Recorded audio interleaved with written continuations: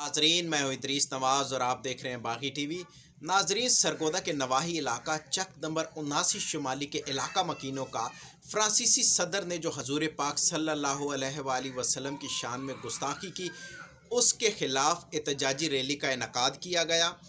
Rally में मौजूद शुरा ने क्या कहा, आइए आपको सुनाते हैं।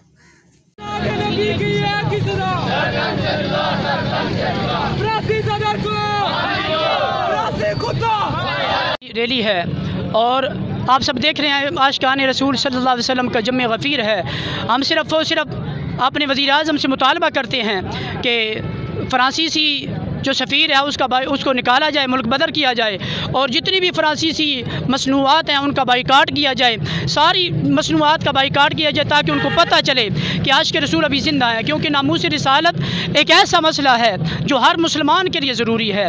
ये किसी किस्म की सियासी रैली नहीं है, किसी किस्म की कोई सियासी जमात से हमारा कोई ताल्लुक़ नहीं है। हमने सिर्फ़ और सिर्फ़ उस महबूब की नमूज के लिए निकाली है, जिसको रब कायनात ने पूरी कायनात आलम के लिए बनाकर भेजा है। तो हमारा ये मुतालबा है अपने वज़ी अजम से कि बर मेहरबानी उस फ्रांसीसी सफ़ीर को मुल्क बदर किया जाए और जितनी भी फ्रांसीसी मसनूआत हैं, सब का बाइकाट किया जाए। हमारा ये मुतालबा है। वसल्लम की जिन गुस्ताहों ने गुस्ताही की है, उनकी औकात क्या है कि उनके अपने बापों का उनको पता नहीं और हमारे नबी के बारे में बात करते हैं, उनको शर्म आनी चाहिए। जिनको अपनी औकात ये है कि उनको अपने बापों का इलम नहीं है और हमारे नबी की गुस्ताही करने आए हैं, वो इन नस्तो नबूद हो जाएँगे और उनका फ्यूचर में कोई नामो निशान मिट जाएगा। मगर हमारे आप वसल्लम का नाम हमेशा बाकी रहेगा। हमारा ये मुतालबा है कि उनका बाइकआउट किया जाए, हर किस्म की मसनूआत का बाइकआउट किया जाए। इसके लिए तमाम किया जाए सहाबी की रसूल की विसी की गई है, और ये मरम्मत की जाए।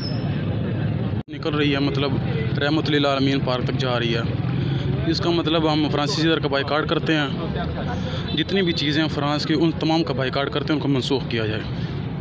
टीम के साथ इदरीस नवाज़, बागी टीवी, सरगोदा।